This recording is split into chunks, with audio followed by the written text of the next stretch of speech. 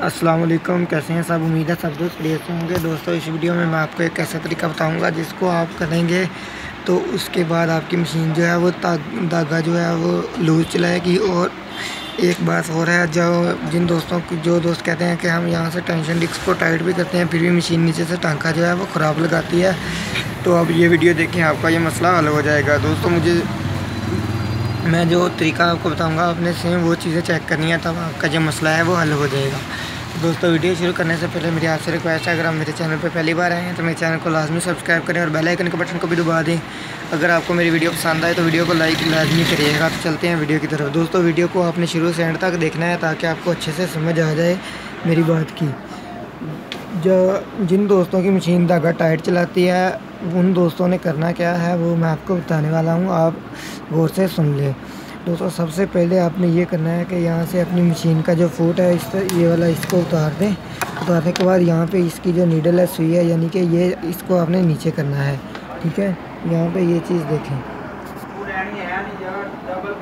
आपने इसको नीचे करना है। जब ये सुई आपकी पटड़ी से नीडल प्लेट से थोड़ी सी ऊपर हो, यानी कि जहाँ पे ये आपके सामने है, सुई की नोक कभी इस राख में अंदर ना हो तो वहाँ पे बाहर हो तो आपने वहाँ पे ये देखना है कि ये जो दंदराल है अगर आपकी मशीन के जो दंदराल हैं वो पटड़ी से ज़्यादा नीचे हैं तो आपने इनको ऊँचे कर लेना है यहाँ तक।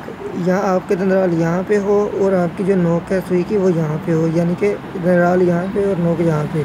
तो दोस्तों, अब मैं पहले आपको यहाँ से इसको ऊँचे करके दिखाता हूँ और सिर्फ़ ऊँचे करने के बाद आपकी अगर मशीन में फिर भी मसला करती है तो आपने करना ये है।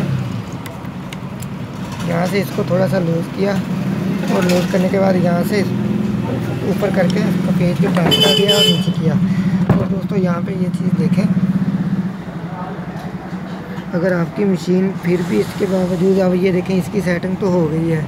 और दोस्तों, अगर आपकी मशीन की सुई यहाँ पे आ जाती है, और सुई आने के बाद यहाँ पे आपकी मशीन फिर भी टाप करती है, और फिर भी आपकी मशीन यानी कि टांका ख़राब करती है तो आपने करना ये है कि इस वीडियो की डिस्क्रिप्शन में मैं आपको एक लिंक दूँगा। वीडियो का वहाँ से जाके आपने इसकी केम टाइमिंग को सेट कर लेना है। जब आप इसकी केम टाइमिंग को सेट करेंगे तो तब आपकी ये चीज़ बिल्कुल सेट हो जाएगी। दोस्तों, मुझे उम्मीद है आपको वीडियो पसंद आई होगी। दोस्तों, वीडियो पसंद आई हो तो वीडियो को लाइक लाजमी करिएगा। मिलते हैं अगली वीडियो में। तब तक के लिए अल्लाह हाफिज़।